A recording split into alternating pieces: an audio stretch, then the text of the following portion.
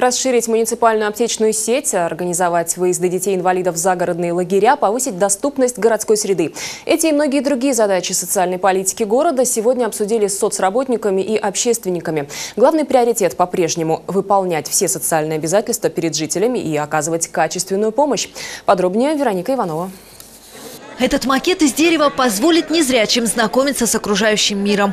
Помочь слабовидящим детям и подросткам готовы новосибирские школьники. Этот конструктор полезен будет для детей с обычным зрением и для детей с проблемами со зрением.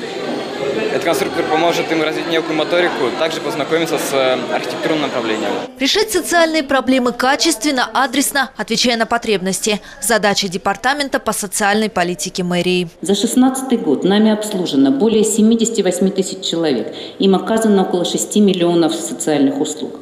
На надомном социальном обслуживании более 7 тысяч пожилых граждан и инвалидов получили около 3 миллионов услуг. Нуждающиеся могут получить любые виды помощи. Организовано горячее питание, выдают продуктовые наборы. Муниципальная аптечная сеть и ее филиалы социальных цен позволили сэкономить покупателям 23 миллиона рублей. Ведь препараты продают здесь с минимальной торговой надбавкой. Сейчас аптечная сеть готовится к открытию многопрофильного медицинского центра. Титова-1, там, где раньше был отдел ортопедии, сейчас отдел ортопедии э, переехал в саму аптеку, и там у нас теперь э, отдельный большой зал, а вот на месте этого помещения у нас будет э, медицинский центр. Продолжит в нынешнем году и работу по устройству в семьи детей, оставшихся без попечения родителей. Организует и загородный отдых для детей с ограниченными возможностями. Нам удалось провести специальную профильную смену для детей, подростков, инвалидов в возрасте от 14 до 18 лет, которые самостоятельно, без родителей, на протяжении 10 дней участвовали в загородном выезде в лагерь.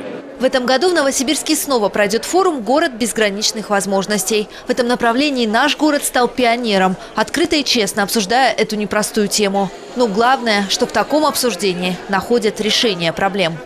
Вероника Иванова, Олег Мощевитин, Новосибирские новости.